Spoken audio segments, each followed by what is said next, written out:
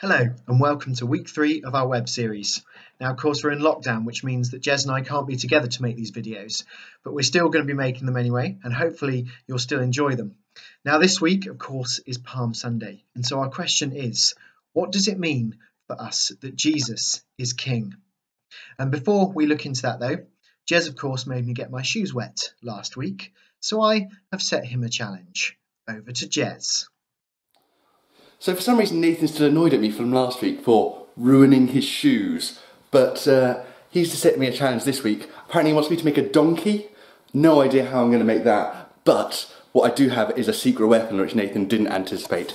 I'd like to introduce you to my new and improved co-host. This is Mr. Snoop. Say hi to the camera, Snoops. We're going to take the next hour to turn him into a donkey. Enjoy.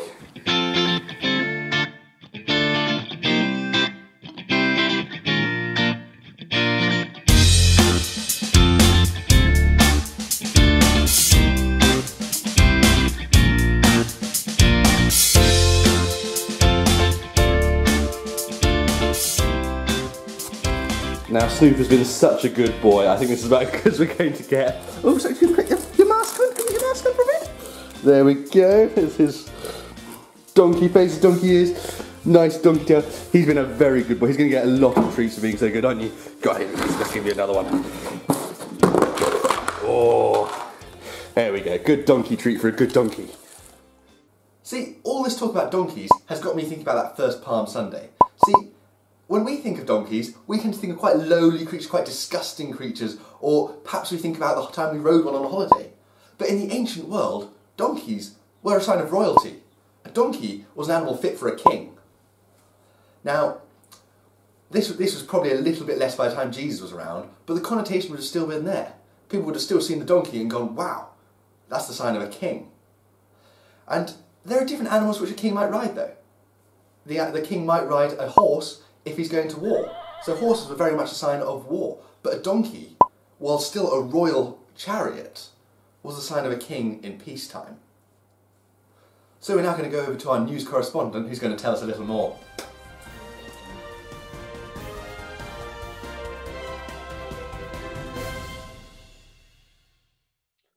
Welcome back.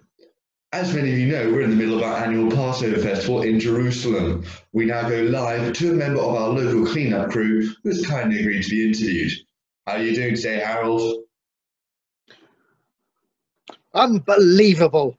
Every year it's always the same. People travel to Jerusalem, drop all their mess along the way. They don't even try and clear up after themselves. Branches everywhere. Cloaks, old tubes of Pringles, makes me sick, it does. You can be a sweeper for 10 years and still people manage to surprise you with the mess they leave behind. Well, why don't you tell us what's been going on down there? I've not seen this much mess, mess since after that Justin Bieber concert. Oh, he's, he's not back in town again, is he? Nah. Oh, thank goodness. I heard it was that Jesus bloke, you know, the one from Nazareth. Jesus, Jesus of Nazareth? Yep, that's the one. I heard he came riding into town on a donkey, and the crowd got a little overexcited. I could hear them all the way from Bethlehem. Hosanna, they were shouting. Hosanna to the Son of David. A Bit overexcited. that might be a bit of an understatement. Looking at the state of those roads, what was it? Some sort of a PR ex- exercise? I heard it had all been prophesied. Oh, don't give me any of that nonsense. You don't believe in any of that hocus pocus malarkey, do you? Don't you remember Sunday school? That Zechariah said, Rejoice greatly, daughter Zion. Shout, daughter Jerusalem. See, your king comes to you, righteous and victorious, lowly and riding on a donkey, on a colt, the foal of a donkey. Oh, so so some sort of king then? Well, there was certainly a donkey and a rejoicing crowd. I suppose he must have been. So what does this mean then? Is he going to be our ruler? Is he going to rule over us, make us pay taxes? Perhaps he's going to lead us into war. I don't know, Jeff. Guess we'll just have to see. I reckon it's going to be a cracking Passover this year. Are you sure? Don't you think this time next year no one will remember who that Jesus bloke was? Uh, I think this was something special, Jeff. I reckon we'll be talking about this for years. Well, they may think he's their king now, but who knows what they'll think next week. Don't you think those crowds are a little bit fickle? We'll see, Jeff. We'll see. Well, there you have it. A crowd declaring their king has arrived, but will he stay their king, or will they turn on him? More as this story develops. But for now, weather. So here is just a fun little prayer activity you could do at home. I have here, not very well, but I have drawn a donkey and I have also cut out its tail. And I'm going to stick it up later on my wall and I'm going to play pin the tail on the donkey. So you could do that too. I'm sure you'll draw some better donkeys than I have. But as you're playing that, you could be praying as well. You could use it as a prayer activity to thank Jesus for what he did for us, the fact that he came down to earth as king. And of course, we know what happens on Good Friday and Easter Sunday, and that's coming up very soon. And we can be praying and thanking him for what he did for us. So, Nathan, what sort of people do you have to submit to in your day to day life? Oh, well, it's interesting actually using the word submit these days because it's always given really bad connotations, but I don't think it's supposed to be. It, I think it's been twisted into this way of like, oh, I hate that because then I have to give in to the will of someone else. Mm. But to me, if someone's in authority over over me, actually I should be respecting that authority uh, and doing as they say. So the people I've submitted to in my life, uh, when I was young, my parents, and of course, I still do, mum and dad. Um, I do what they say. When I was in school, teachers, they had that authority because they were there to teach me and to keep me safe.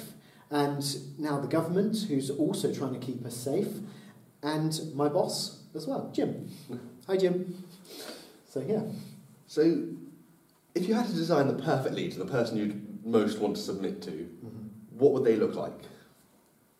So I think the perfect leader would need to be someone who cares for the people that they have authority over, um, who is the one that will make decisions, and they may even have to be the hard decisions. Actually, a lot of the time, um, I think it, it's a bit like a parent, because my parents love me, and yet sometimes they would discipline me, and sometimes when you're young, that doesn't make sense. You're like, well, but you said you love me, so why are you stopping me do things? But actually, it's only because they care about you and they want to keep you safe.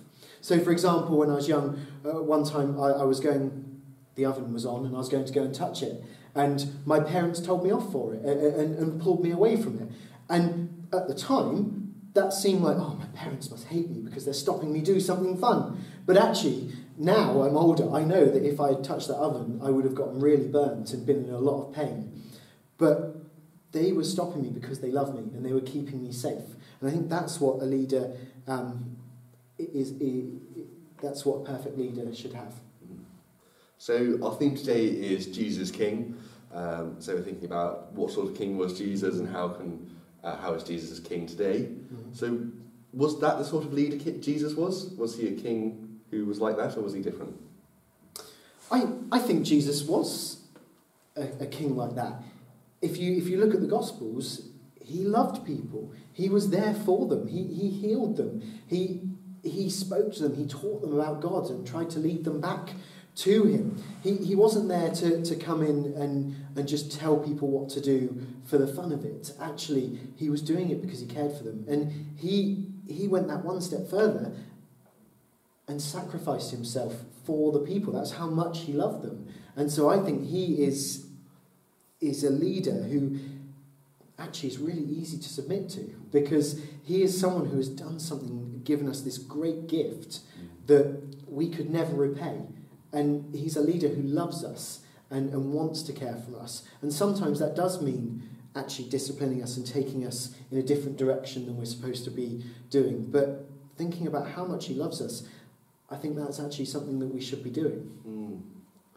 It's, uh, I, I, love how Jesus kind of subverts that expectation mm. of king. You know, when we think of kings, we think of sitting high, on high and ruling yeah. over, but Jesus came down and served, didn't he? Mm.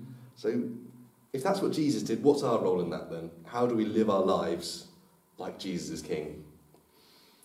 Well, I think for firstly, it, it, it's thanking him for all that he, he has done for us. Um, and that can be shown in worship and, in praying in reading our Bibles, talking with God. And I think it's then often we pray, you know, we want, we want to give our life to him. That's, that's what kind of becoming a Christian means. And again, that might mean sometimes doing things that maybe we don't want to do, but knowing that actually God has our best interests at heart and doing them anyway, but also doing them with a heart uh, of gratitude uh, and longing to do it. So, for example, um, Jesus told us to tithe. That means giving money. Uh, giving, sometimes we might think our hard earned money, but actually, God has already given that as a gift, and He just wants us to give some of that back so that actually He can use it um, to forward the kingdom in, in some way that we can't even see sometimes what He has planned. But His plan is bigger and better than what we know and what our plans are. So it, it's about just following Him with a thankful heart. Well, let's pray on that. Heavenly Father, we thank you that you are a good king. We thank you that you're a king who loves, a king who cares for us. We thank you that you're the best kind of king that there is. And we pray that you help us to fulfill our role in that, submit to you, but to do so gladly and willingly, knowing that your rule is righteous, knowing that your rule is just, knowing that your rule is good. We glorify you as our King, Lord, and we submit our lives to you. Amen. Amen. Now, there may be some people watching this and thinking, actually, I've never given my life to God. And it's such a simple thing to do. And if you're at home watching this and thinking, I want to do that, all you have to do is actually ask God into your life and say, I'm sorry for the things that I have done wrong. And actually, over the next few, over the next week, we're going to learn about even more detail what Jesus did for us. Um, but if you want to, I'm just going to say a quick prayer. If you want to follow that prayer, just say Amen at the end. And yeah, you're, you're welcomed into the family of God. So let's pray. Dear Lord, we're sorry for the things we have done wrong and for when we have tried to do things our own way. Lord, we receive you, we submit to you as King of our lives, and we look forward to being able to have a relationship with you. Amen. Amen.